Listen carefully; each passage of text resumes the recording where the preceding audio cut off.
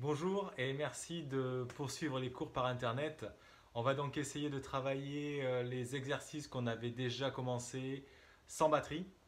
Alors euh, pour ça j'ai euh, un petit kit très basique que je vais, je vais monter. c'est de la récup, l'idée c'est de faire un peu avec ce que vous avez à la maison. Donc moi ce que j'ai pris c'est une petite poêle de dinette, ça ça fera ma cymbale. J'ai euh, de la ficelle pour accrocher euh, la cymbale. J'ai une petite popote en plastique. Ça fera ma caisse claire. Et j'ai un élastique, un gros élastique pour euh, faire tenir la caisse claire aussi sur, sur ma cuisse. je vais te montrer après comment j'installe tout ça. Il me reste ma grosse caisse. La grosse caisse, j'ai une cuillère en bois. Bon là c'est plus la dinette. Et deux caplas. Et un, euh, un élastique, qu'on voit pas très bien, un chouchou. Alors la grosse caisse, c'est assez simple. Je prends mes deux caplas, je prends ma cuillère et je vais fixer ça. Hop, je fixe l'élastique, bon, de manière assez basique. Ok. Comme ça, je vais la poser à plat. Hop. Et quand je joue ma grosse caisse, j'appuie sur la cuillère.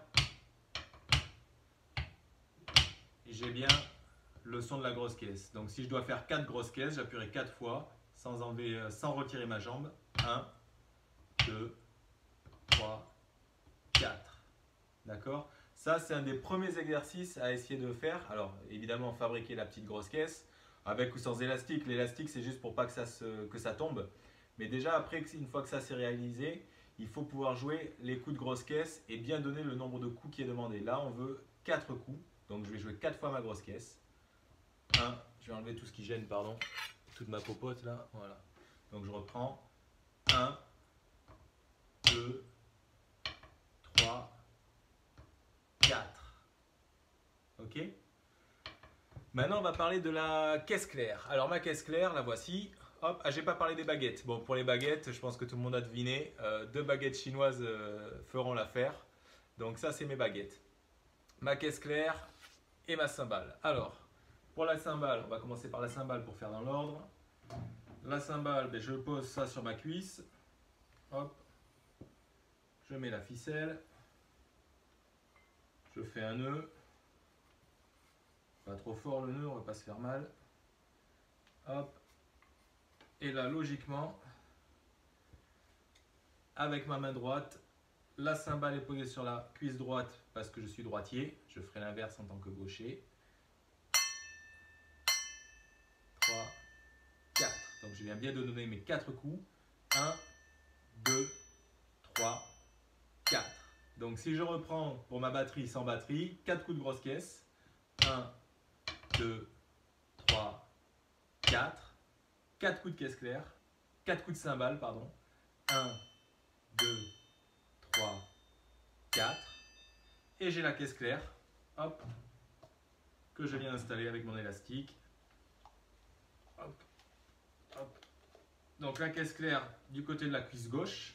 Comme ça, je suis dans la même configuration que sur une vraie batterie. 1, 2, 3, 4 avec la main gauche. 1, 2, 3, 4. Je reprends donc que la grosse caisse 4 fois. 1, 2, 3, 4. Je te laisse essayer. Je fais la cymbale 4 fois. 1, 2, 3, 4. À ton tour, tu peux faire pause et le jouer. Et je fais la caisse claire. 1, 2, 3, 4.